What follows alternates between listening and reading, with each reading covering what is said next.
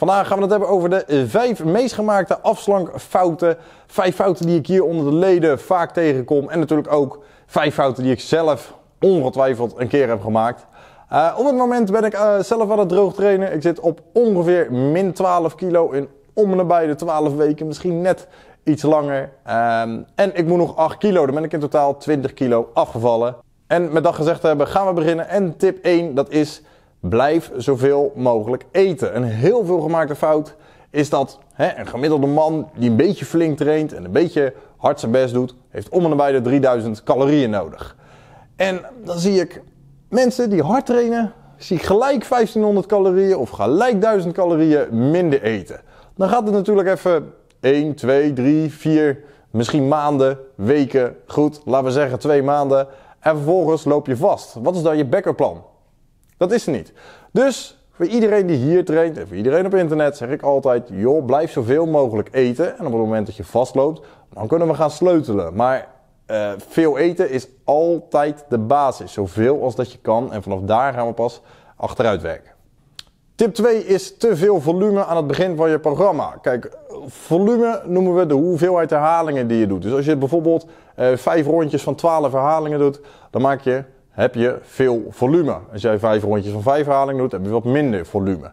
En heel veel mensen die komen net uit een bulkfase, dus die zijn lekker veel aan het eten, spiermassa aan het opbouwen. En dan hebben ze wat harde, hoge werkfrequentie. Ze gaan drie, vier, vijf keer in de week naar de sportschool. Ze squatten, ze bankdrukken, ze doen goed de best. En datzelfde, diezelfde intensiteit, diezelfde volume, die willen ze erin houden wanneer ze gaan afvallen.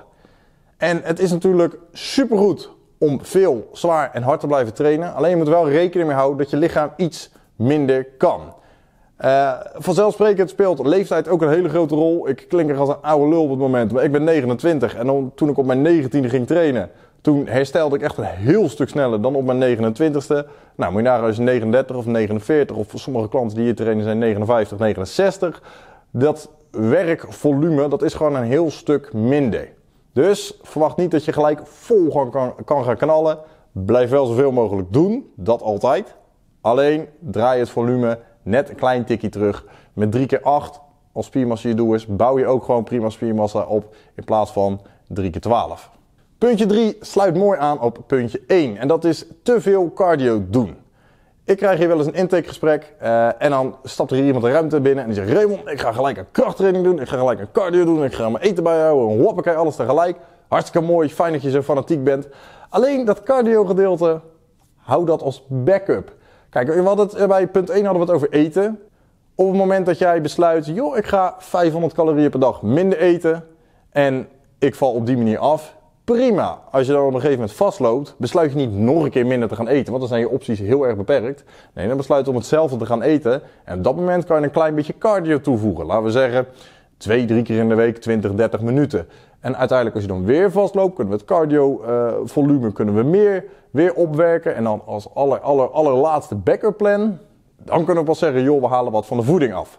Vandaar, blijf zoveel mogelijk eten, Doe gewoon aan krachttraining en laat cardio aan het begin voor wat het is. Dat zijn allemaal noodmiddelen om te zorgen dat je blijft afvallen. Tip 4 is een beetje een algemene tip. Dat is een heel strikt dieet volgen. En vaak, een, hè, wat op het moment is populair is, is laag in koolhydraten of laag in vetten. En het vervelende is als mensen die gaan combineren. Kijk, veel mensen die net beginnen aan fitness, die zien uh, vet, dus vet in voeding, hetzelfde als lichaamsvet. En denken dus automatisch van, joh, Raymond, ik ga geen vet meer eten, want dat is super ongezond. En dan lezen ze ergens in een of ander Linda-boekje van, joh, we moeten ook koolhydraatarm gaan eten. Zodra we dat gaan combineren, laag in koolhydraten, laag in vetten, vergeet het maar. Het afvallen gaat verschrikkelijk lastig worden. We moeten juist die vetten tot ons nemen, die, die noten, die pinda's, die hè, olijfolie, et cetera, zodat we simpelweg veel hormonen kunnen blijven aanmaken en je afslankprogressie een stuk sneller gaat. Kijk, iets minder koolhydraten nuttigen, prima om gelijk helemaal low carb te doen, ja, is niet mijn ding. Maar daar gaan we nog wel een keer een andere video over hebben, anders blijf ik ratelen. Puntje nummer 5 is je maaltijden niet wegen of niet meten. Ik krijg regelmatig de vraag, joh Raymond, afslanken gaat niet meer zo snel als aan het begin. Het stagneert een beetje. Prima, dan gaan we kijken wat is er aan de hand. Wat is er met je voeding aan de hand? Ochtends, middags, avonds, noem maar op. En dan vraag ik bijvoorbeeld, joh, wat heb je gisteren gegeten? Nou, uh, ik noem maar wat. Ik heb bijvoorbeeld uh, taco's gegeten. Oké, Hoeveel calorieën zijn dat? Ja, ik heb geen idee. Oké, prima. Wat heb je dan als middageten op? Ja, vier boterhammen, zus en zo. Oké, hoeveel calorieën zijn dat? Ja, ja, goede vraag eigenlijk. Dat duidt dus op dat iemand simpelweg wat eet en denkt van... joh, ik neem een eitje op mijn brood, dus dat is gezond. Of joh, ik doe er een beetje rucola overheen en dat is gezond.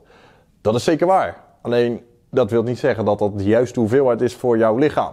Dus altijd wegen, meten en dan weten we letterlijk waar we mee bezig zijn. In plaats van zomaar op de wilde gok iets te gaan lopen eten en dan hopen dat je afvalt. Dit was Raymond Schultz, totalstreng.nl. Ignite your fire and grow stronger.